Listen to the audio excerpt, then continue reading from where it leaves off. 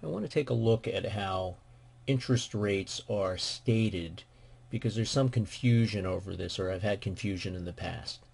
The APR stands for annual percentage rate and it's the legal rate that has to be quoted.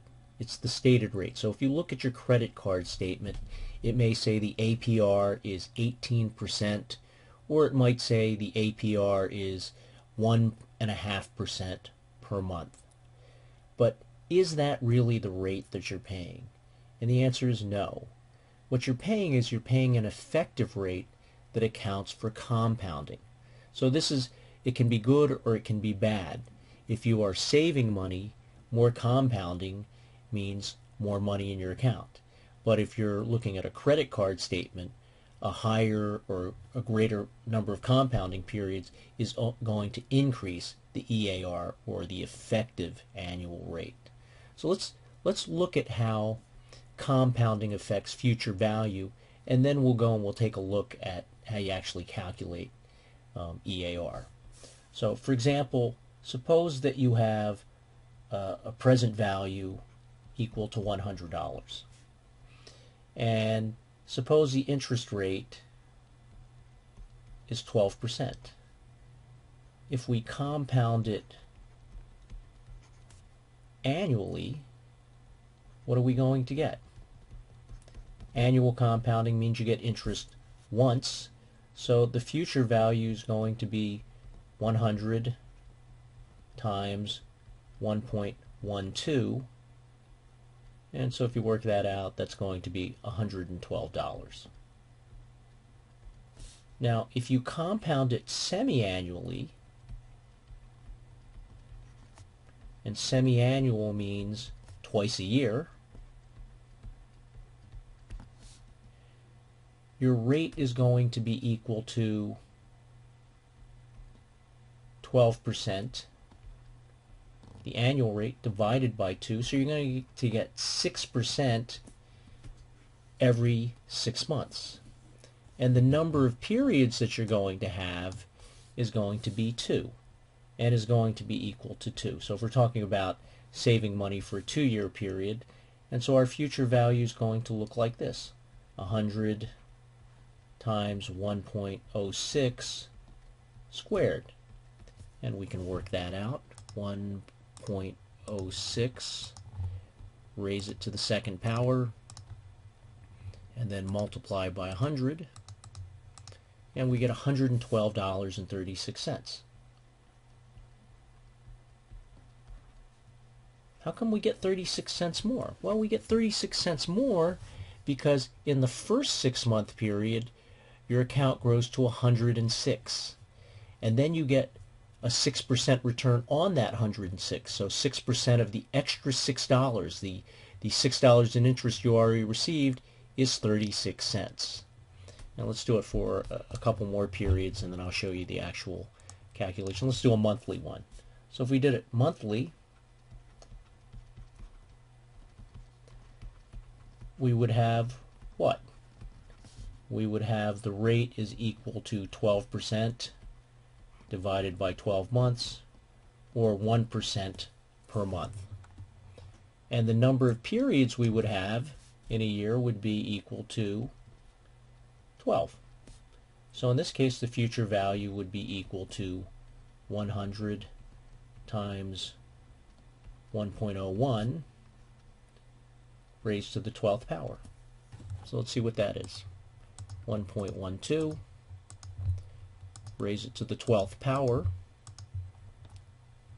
Oops, oh, made a mistake here. 1.01 raised to the 12th power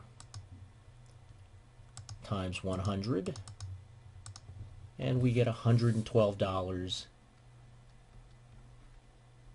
and 68 cents. So you can see that the more compounding periods we have, the higher our account balance is going to be. So essentially the higher the effective rate is going to be. So what's the formula?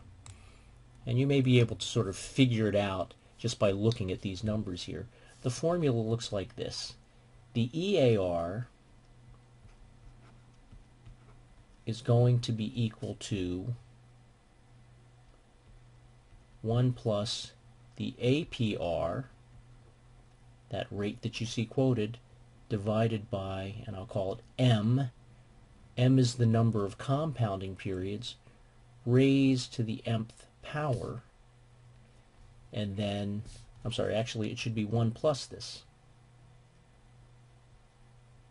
So if you have 1 plus the EAR equals 1 plus the APR raised to the nth power.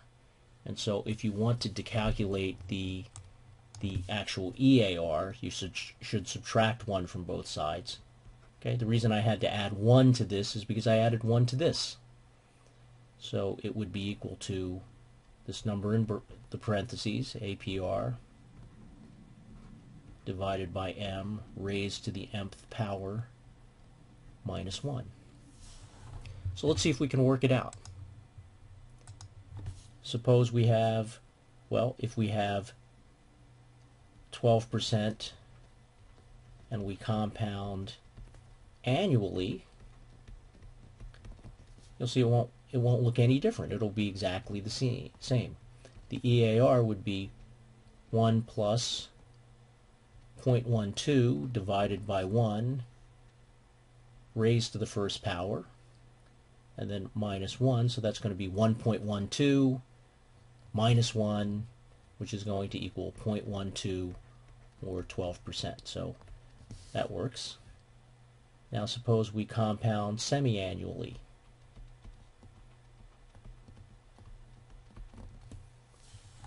We'll have the following. We will have the EAR equals 1 plus 0.12 divided by 2 raised to the second power minus 1. And let's see what we get. Actually, you can sort of figure it out by looking at the previous future value problems. 1.06 y to the x raised to the second power minus 1 0.1236 or 12.36 percent.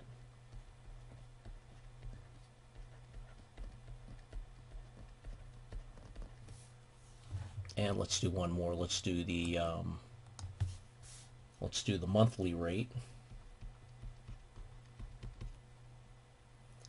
The EAR is going to be equal to 1 plus 0.12 divided by 12 raised to the 12th power minus 1. So 0.12 divided by 12 is 0.01, so we have 1.01 raised to the 12th power. And we subtract out 1, and we get 0.1268 or 12.68%. Let's just uh, let's take a look at a, a credit card statement. Suppose you have a credit card and the rate on the card is 18%. Let's find the effective annual rate. Okay, this would be the APR. This is what they have to quote by law. The EAR would be 1 plus 0.18 divided by 12 raised to the 12th power. Okay.